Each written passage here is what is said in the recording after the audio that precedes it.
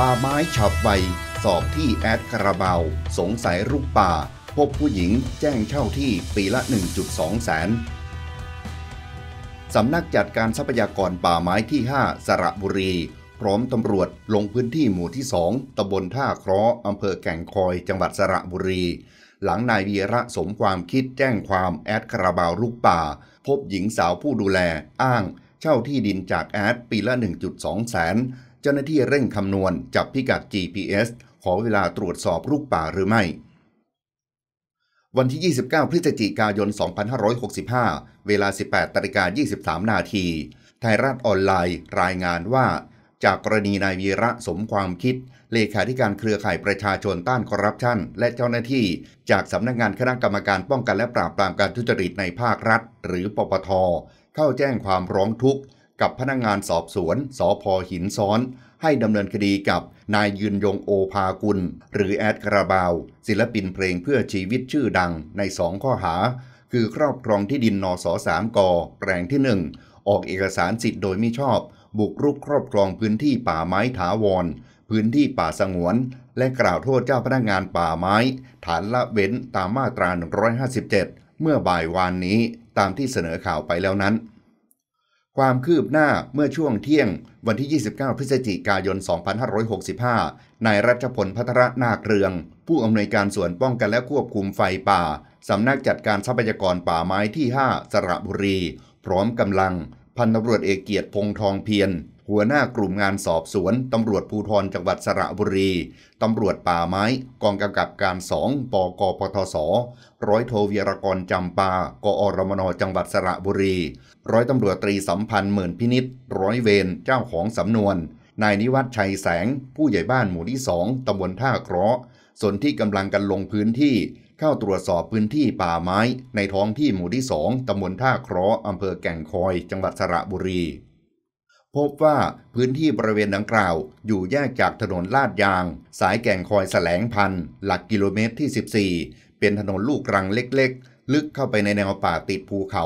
ระยะทางราว 2.5 กิโลเมตร บริเวณปากทางเข้าเป็นเนินเขา ถูกแผ้วถางเทคอนกรีต มีป้ายสีขาวติดกับต้นไม้ทางขึ้น เป็นภาษาอังกฤษและภาษาไทย ระบุว่า ยินดีต้อนรับสู่แคมป์น้ำป่าผาใหญ่ โดยมีประตูรั้วกั้นทางเข้าออก มีหญิงสาวอายุราว 30 ปีเศษ ออกมาต้อนรับคณะเจ้าหน้าที่ที่เข้ามาตรวจสอบในครั้งนี้ ทางด้านนายรัชพลพัทรนาคเรือง ผู้อำนวยการส่วนป้องกันและควบคุมไฟป่าสำนักจัดการทรัพยากรป่าไม้ที่ 5 สระบุรีเผยว่า ในการลงพื้นที่ในวันนี้ เนื่องจากว่าจากสื่อพร้อมด้วยนายวีระสมความคิด และทางปปทที่ร่วมกันลงพื้นที่เมื่อวันที่ 28 พฤศจิกายนที่ผ่านมา โดยแจ้งว่า มีการทำถนนเข้าไปในเขตพื้นที่ของแอดกระบาว ตนจึงได้นำคณะเจ้าหน้าที่สำนักงานจัดการป่าไม้ที่ 5 ลงพื้นที่ตรวจสอบข้อเท็จจริง ซึ่งจากการตรวจสอบพบผู้ดูแลพื้นที่ ซึ่งแจ้งกับเจ้าหน้าที่ว่าตนเป็นคนที่เช่าที่ของแอดกระบาวได้มีการล้อมรั้วจากปากทางเข้าไปในพื้นที่ของแอดที่มีนสสามอยู่ เจ้าหน้าที่จึงได้ดำเนินการจับภาพ GPS ในบริเวณดังกล่าว ซึ่งกำลังคำนวณอยู่ว่ามีเนื้อที่อยู่กี่ไร่ โดยจะเอาภาพพิกัดที่ตรวจสอบ ส่งให้หน่วยงานที่เกี่ยวข้องตรวจสอบข้อเท็จจริงต่อไป ซึ่งอาจจะเป็นป่าสงวน หรือพื้นที่ประธานบัตรเหมืองแร่ ซึ่งยังทับซ้อนกันอยู่ในเรื่องพื้นที่ ซึ่งยังคงต้องขอไปตรวจสอบให้แน่ชัดก่อน ถ้าแน่ชัดว่าเป็นพื้นที่ป่าสงวน ก็จะดำเนินการร้องทุกข์กล่าวโทษต่อไป ทางด้านผู้ดูแลพื้นที่ ซึ่งมีการล้อมรั้ว แสดงการครอบครองพื้นที่ถนนเส้นดังกล่าว จนไปถึงพื้นที่ที่อ้างว่ากำลังขอออกโฉนด ซึ่งก็จะคำนวณดูและแจ้งให้ทราบว่ามีพื้นที่เท่าไหร่ที่รุกล้ำเข้ามา ซึ่งผู้ดูแลพื้นที่ยอมรับว่าเป็นผู้เช่าที่ดินจากแอดคาราบาว ในราคาปีละ 120,000 บาท ซึ่งเช่ามาแล้วเป็นระยะเวลา 5 ปี ส่วนในเรื่องว่าจะมีการบุกรุกหรือไม่ ก็จะอยู่ที่พนักงานสอบสวนเป็นผู้สอบ ซึ่งจะนำเรื่องดังกล่าวไปตรวจสอบภาพพิกัด และนำเรื่องส่งไปยังพนักงานสอบสวนต่อไป ส่วนพันตำรวจเอกเกียรติพงษ์ทองเพียรหัวหน้ากลุ่มงานสอบสวนตำรวจภูธรจังหวัดสระบุรีกล่าวว่า พนักงานสอบสวนจะเป็นผู้รวบรวมพยานหลักฐานต่างๆ จากเจ้าหน้าที่ที่เกี่ยวข้อง ที่เข้ามาตรวจสอบข้อเท็จจริงในเรื่องนี้ โดยจากนี้จะมีการนัดแนะกัน เพื่อเข้ามาตรวจสอบพร้อม ๆ กันอีกครั้งหนึ่ง เพื่อดำเนินการตามขั้นตอนของกฎหมายต่อไป ทางด้านนายนิวัฒชัยแสน ผู้ใหญ่บ้านหมู่ที่สองเผยว่า พื้นที่ดังกล่าวนายยืนยงโอภากุล หรือแอดกระบาว ได้ซื้อต่อนายจำรัดจุนปะ ตั้งแต่ปีพศ 2535 ซึ่งที่ดังกล่าวเป็นทางเกวียน หรือเป็นพื้นที่ที่ชาวบ้าน ใช้เป็นทางขึ้นลงหาของป่าพวกหน่อไม้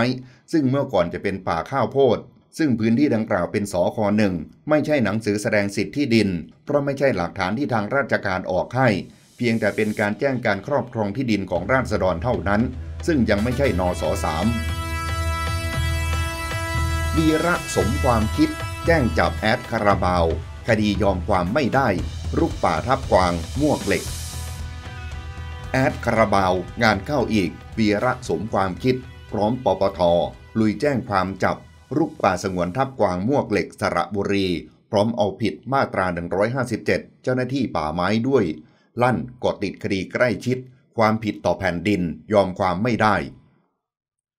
เมื่อวันที่ 28 พฤศจิกายน 2565 เวลา 18นาฬิกา37 นาที Daily News ออนไลน์รายงานที่สพหินซ้อน หรือสพย่อยแก่งคอย จังหวัดสระบุรี นายวีระสมความคิด เลขาธิการเครือข่ายประชาชนต้านคอร์รัปชัน พร้อมด้วยเจ้าหน้าที่ จากสำนักงงานคณะกรรมการป้องกันและปราบปรามการทุจริตในภาครัฐ หรือปปท นำโดยนายธนวัฒน์สนิทศักดิ์ศรีผู้อำนวยการปปทเขตหนึ่งนำหนังสือร้องเรียนและเอกสารต่างๆ ที่ได้รับมาจากประชาชน เข้าแจ้งความร้องทุกข์กับร้อยตำรวจเอกสัมพันธ์หมื่นพินิษรองสารวัตรสอบสวนสพหินซ้อน เพื่อให้ดำเนินคดีกับนายยืนยงโอภากุล หรือแอดคาราบาวนักร้องเพลงเพื่อชีวิตคนดัง โดยกล่าวหาว่าครอบครองที่ดินนสสามกรวม 35 ไร่ ในเขตป่าสงวนแห่งชาติทับกวางมวกเหล็ก จังหวัดสระบุรี แปลงที่ 1 รวม 2 ข้อหาด้วยกันคือ ออกเอกสารสิทธิ์โดยไม่ชอบ และบุกรุกครอบครองพื้นที่ป่าไม้ถาวร พื้นที่ป่าสงวนแห่งชาติ มีความผิดตามพระราชบัญญัติป่าสงวนแห่งชาติ พศ 2507 พระราชบัญญัติป่าไม้ 2585 และแจ้งความกล่าวโทษเจ้าพนักงงานป่าไม้ ฐานละเว้นการปฏิบัติหน้าที่ตามมาตรา 157 นายเวียระสมความคิดกล่าวว่า ได้รับการร้องเรียนจากประชาชน ตั้งแต่เมื่อเดือนตุลาคม 2565 ให้มาตรวจสอบการบุกรุกพื้นที่ป่าสงวนแห่งชาติ ป่าทับกวางมวกเหล็ก เพราะชาวบ้านไม่สามารถใช้พื้นที่ได้ เนื่องจากมีการสร้างประตูรั้วเหล็กกั้นไม่ให้เข้าออก และอ้างว่าเป็นที่ส่วนบุคคล จึงประสานปปทมาตรวจสอบพบว่ามีการออกใบจองนส21 เมื่อวันที่ 7 สิงหาคม 2534 และออกนส3ก เมื่อวันที่ 6 มีนาคม 2535 ซึ่งถือว่าผิดปกติ เพราะกระบวนการเร็วเกินไป เดิมมีการออกเอกสารสิทธิ์ 16 ไร่ พบงอกเป็น 34 ไร่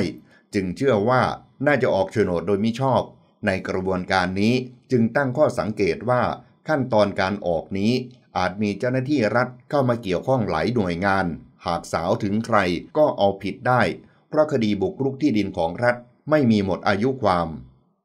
นายวีระกล่าวอีกว่า บริเวณพื้นที่ดังกล่าว มีการใช้ชื่อเชิงธุรกิจท่องเที่ยวว่า น้ำ ผา ป่าใหญ่ และจากการตรวจสอบชื่อในนอสสามเป็นชื่อของนายยืนยงโอภากุล และมิได้ทำการเกษตรแต่อย่างใด